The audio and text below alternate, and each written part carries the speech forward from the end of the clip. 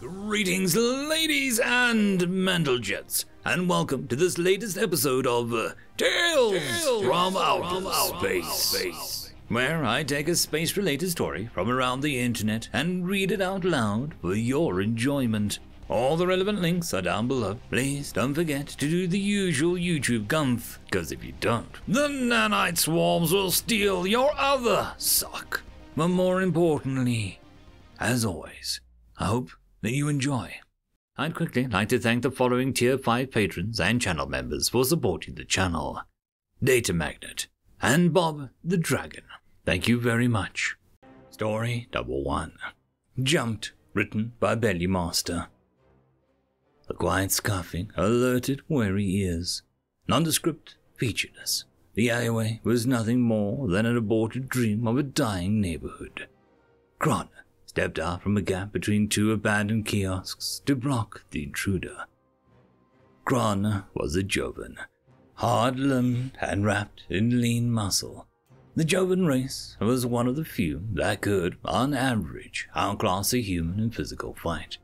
Hardened plates grew on the faces of their thin limbs, a naturally occurring defense against the eroding qualities of the home environment's harsh winds. Longer muscle connecting points throughout their skeleton heightened strength above that of a human, and their endurance was acceptable. Their bodies, when viewed head on, were remarkably slender, but the moment they turned to the side, it became apparent that the aerodynamic development had suggested growth forward and backward instead of out. Kron tapped a cloven hoof on the ground to be sure the human was aware of her presence. The human a very thick figure with a squat face and a round figure, stopped moving and looked at her. The sounds of the city echoed through the alleyways as I stared at one another. Kron pointed towards the human's bag. The human shook his head. She crouched into a ready stance, and the human pulled off the bag and set it in between the two kiosks. This one looked a bit heavier than the average human. But it didn't matter. The Jovian attacked. Three harsh blowing kicks followed by the side arm movement. Every attack was in line with the bone reinforcement of the Jovian's body, putting all the weight and strength into the blows into the reinforced edge two fingers wide. Two of the kicks went wide. The third met its mark. The human keeled over as if struck by a pipe. Missing the cider meant for its head. The human grabbed the Jovian's leg and twisted his hips, throwing her into the wall. Kron took the blow in silence. The alleyway repeated sounds of heavy breathing and scuffling back to them as they recircled, fainting and closing in. The human attacked, already favoring his left leg. He pulled forward and rushed the Jovan backwards, trying to drive them into the more public street. The Jovan executed a half turn and swung down with her right limb. Only the human's forearm, thrown up on instinct, saved his vertebra from being shattered. The human gritted his teeth and adopted a closed stance, arms and legs tight in towards the body, and the Jovan attacked with a series of blows, driving her limbs into those of the humans with a force twice as that that the human could muster. The human was trying to deflect the blows as it inched forward towards her, step by step, but the damage it was receiving was significant. The Jovan whirled, chopping her arm through the air towards the human's head like a propeller blade. In a split second, she found herself flying through the air until she hit the ground and bounced up, breathless. The human came at her from the side and drove two knuckles into the center of her upper arm. It was followed up by two more sharp strikes, aimed at both the head and the thigh. Only the thigh hit connected before the Jovan turned to once more face her opponent. They were tiring, both of them but the energy remained high. The Jovan circled back to again present her defensive sight to the human, while the human tried to outmaneuver her and gain her sight again. The human's forearms were already starting to bruise, and he was sporting a significant limp. They closed in again, more mindful in deliberately trying to harm one another. Gone was the speed and the impulse that came at the beginning of a fight. Now was the strategy. Blow for counterblow they went on, the Jovan landing strikes more often than not, while the human missed several times. The Jovan backed off to take a breath, but the human stuck to her with a stubbornness. He knew that if he ceased moving, stiffness would take a hold of his limbs, and he'd be out of the fight. The Jovan thrashed, peppering his upper body with blows. She fell hard when the human swept out her legs and tried to grab her. She spun across the ground and stumbled to her feet. She couldn't let the human get a firm grip on her. When they closed again, the Jovan landed a meaty blow to the human's limping leg that sent him crumpling to the ground. She took the opportunity to back up and breathe, unfamiliar with the exertion lasting this long. The human gasped and hit the ground with a thud, but his eyes never left those of the Jovan. He dragged himself up and came towards her again. Then she took halting steps over to where the human had left his bag and reached for it. She didn't have time to react when the hands grabbed hold of her and flung her into the kiosk. She folded down onto the ground, thrashing blindly, and the hands found her again. The Jovan crashed bodily into the old stall and tumbled to the ground with a grunt.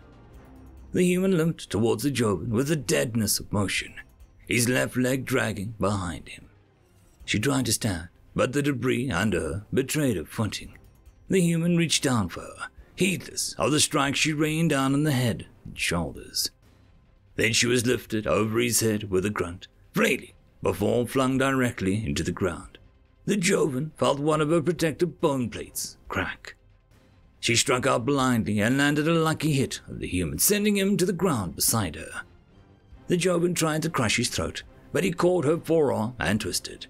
The donkey motion disrupted the streamlined musculature of her body and caused immense pain. She didn't make a sound. They both rolled to their feet again, though it took several seconds. Weary and injured, the human put up his hands again and started towards her again, somehow still able to move, a glutton for pain. The Jovan shook her head and lowered her limbs. She was done. The human wasn't. He caught her with two enormous blows that sent her to the ground, falling over himself in the process. But again, he started to rise. Kron crawled away as quickly as she could, knowing that if she took two or three more hits like that, that she was done for. She limped to her feet and staggered out of the alley into the more public area, chancing a glance behind her. There stood a silhouette of a human, limping unbroken, having taken far more damage than he should have been able to. But he was still standing. End of story. Story number two. You need a human on board, written by Glitchkey. You should have a human on your ship. Simple, if possible. It doesn't matter if there's some sort of fundamental incompatibility between species. They can smooth that over. It doesn't matter if you don't like them. You need a human on your ship. Everyone does. Ask any statistician or logistician, any military official, scientist, or mathematician, and they'll agree. You need a human or several on your ship. Humans can smooth over incompatibilities. They can make it work, but a ship with a human is statistically more likely to survive than one without. Yes, they're weak. Yes, they have terrible manners. We're all aware that they're not the brightest stars in the nebula. But humans make a ship more likely to survive and thrive. Humans can make anything work. We've been trying to figure out how they do it since first contact. We still don't know any more now than we did then. There are too many verifiable stories of ships beyond saving making it to the end of the journey because of human crew members patches with no integrity, repairs with no function. As soon as they're no longer necessary, there's absolutely no evidence showing that they can do what they did.